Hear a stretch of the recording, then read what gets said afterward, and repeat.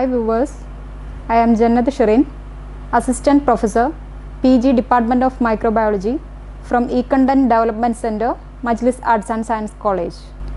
Today, I would like to introduce a new relevant topic in agricultural microbiology that is angular leaf spot of cotton. It is a plant disease caused by bacteria. Let's start our topic plant disease. Plant disease is usually defined as the abnormal growth or dysfunction of the plant. Diseases are the result of some disturbances in the normal life process of the plant. Plant diseases are classified into two types biotic disease and abiotic disease. Biotic diseases are caused by living organisms like bacteria, virus, and fungus. Abiotic diseases are the diseases caused by non living things like wind, air, and water. Most of the diseases are caused by living things, that is, microorganism. Plant diseases are identified by both common name and scientific name. The scientific name identifies both the genus and species of the disease causing agent. The pathogens involved in the plant disease are classified into two types. First one, biotrophic pathogen. Second one, necrotrophic pathogens. Biotrophic pathogens are the pathogens that derive nutrients from the living host tissue. Second one, necrotrophic pathogens. These are the pathogens that derive nutrients from the dead or dying cells. Viruses in generally need living host tissue for their nutrition.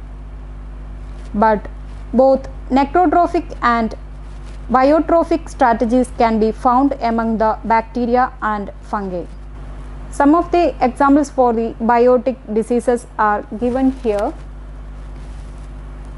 Bacterial diseases are angular leaf spot of the cotton, bacterial cankers of citrus, bacterial blight of the rice and crown gall disease.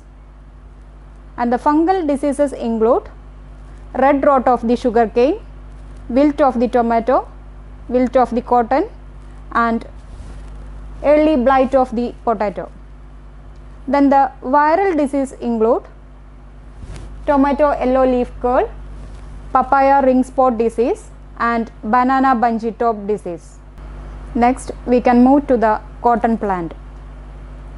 It is an important fiber crop. It is a natural fiber and the cotton plant covers about 10 million hectares in India. Its annual production is about 5 million tons. It is roughly estimated that the losses due to the diseases of the cotton are about 200 millions per year. The cotton plant is about 1.2 meter in height and the plant is closely related to the hibiscus species plant. There are up to 52 species of the cotton in the Gossypium species. There are several branches in this plant and the branches are connected with a central main stem. The cotton plant leaves are broad, heart shaped, coarse veins with 3 to 5 lobes. The taproot of the cotton plant is about 1.5 meters in depth. Cotton plant contains balls and the balls consist of about 27 to 45 seeds. Next we can move to the angular leaf spot of the cotton. It is one of the severe disease of the cotton plant affected almost every cotton growing countries of the world. This disease is also called black or bacterial blight of the cotton. Blight means rapid browning of the tissue or rapid death of the plant. The disease is caused by Xanthomonas malvacearum. It is a gram negative motile organism. and it consists of a single polar flagellum. Xanthomonas malvacearum is coming under the class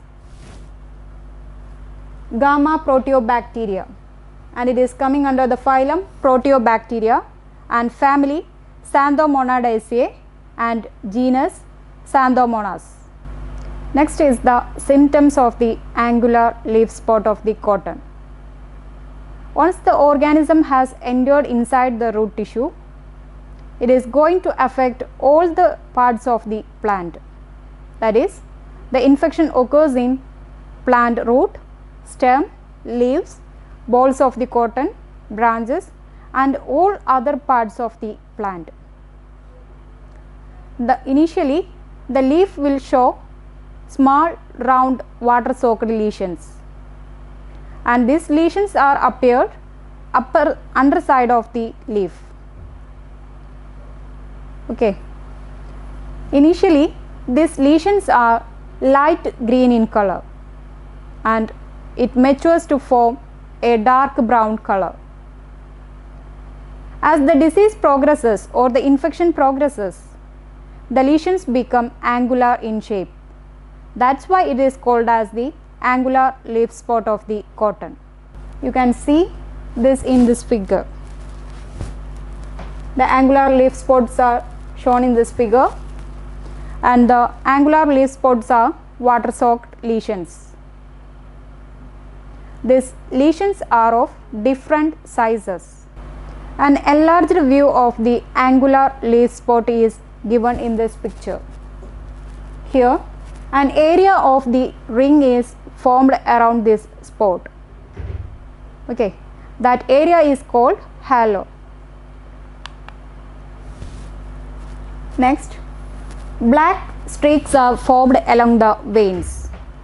These black streaks are formed due to the systemic infection.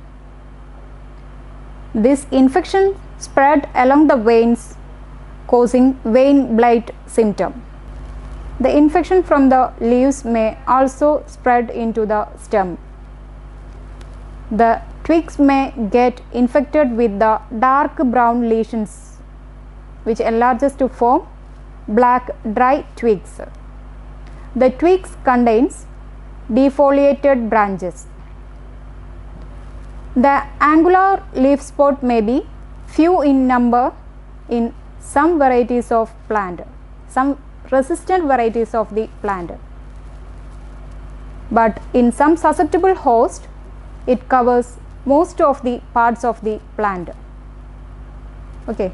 This is followed by chlorosis, necrosis and distortion of the lamina. The bacterium may also get infect with the cotton ball causing the formation of water soaked lesions on the cotton ball and it causes the discoloration of the tissue inside. The ball size is reduced and the seeds formed are also reduced.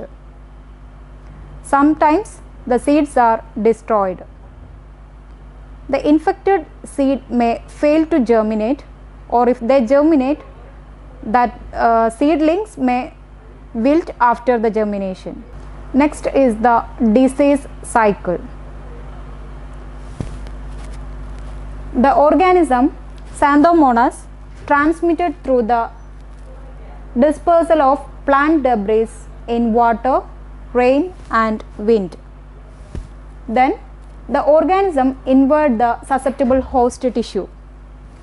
It invert the uh, via the root and wounds present in the leaf. Then the organism causes the infection on the leaf and vascular tissue. It causes the development of the water soaked lesions in the V-shaped manner. And also the disease progress results in the formation of black ring in the stem and also it causes the xylem decay. This will leads to the systemic infection of the plant. Systemic infection means the infection occurs in the all parts of the plant. Okay. So, the infected seed give rise to the infected seedling. The infected seedling are the chief source of the primary infection. Okay. So, the infected seedling again continues this cycle. Finally, we can discuss the control measures. Some of the control measures are given here and that are field sanitization, remove and destroy the infected plant debris, crop rotation, deep ploughing, then addition of potash to the soil, then treatment of seed with carboxin, etc. I hope you got an idea about angular leaf spot of the cotton. Thank you.